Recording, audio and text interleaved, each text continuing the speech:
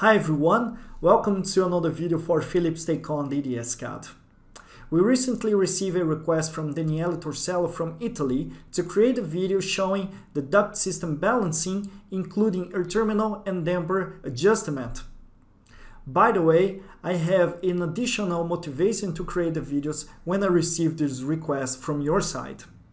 Before viewing the video, subscribe to our channel and hit the bell to be notified of new videos. Enjoy! In order to perform the pressure loss calculation by adjusting air terminal and dampers, these objects must have a syntax of the zeta value steps. If you want to know more about how to add the syntax to the objects, put your comment below and we'll get back to you about this topic. Getting back to this demonstration, I will now add a damper to the model that has the syntax in order to make this adjustment and I will add this damper for each terminal. Now I will start the pressure loss calculation.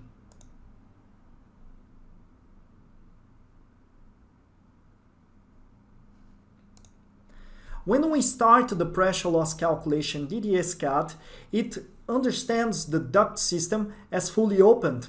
If I select this last segment, we see that the air terminal and damper in the column valve setting has the value set to zero, meaning it's fully opened. Else, with the option nominal, we can also check in the column worst path, which is indeed the worst path.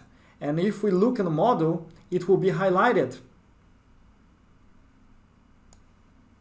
Now, to balance the system, I will select the calculation type as only adjuster terminals and dampers. And I'll select the option automatic adjust air terminals and dampers. If we look into this segment in which we already saw the air terminal and damper uh, with the nominal option kept opened as we can see in the valve setting.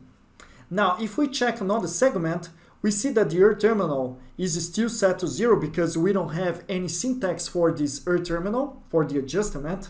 However, the damper now has the setting to 45. Let's check another. This one has the setting to 70, 85, 85, and 90. Now we'll apply these changes and to make it visible on the model, I will select all dampers and access their properties. In the tab text, I will activate this part text that includes the valve setting text, uh, part text. So now we see that this air, term air terminal is opened. This has the position to 45, 70, 85, 85, and 90.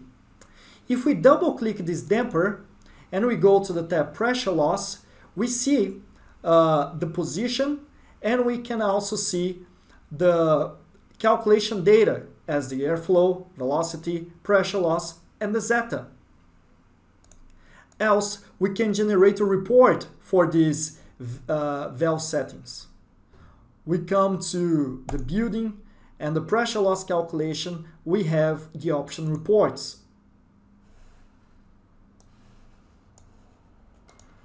I will select the option pressure loss detail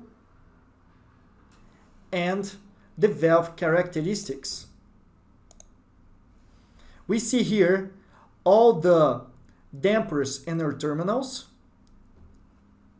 including the volume flow, the pressure loss, and the set point. If you like this video, share it. If you have any questions or suggestions, put your comment below and we'll get back to you. Cheers!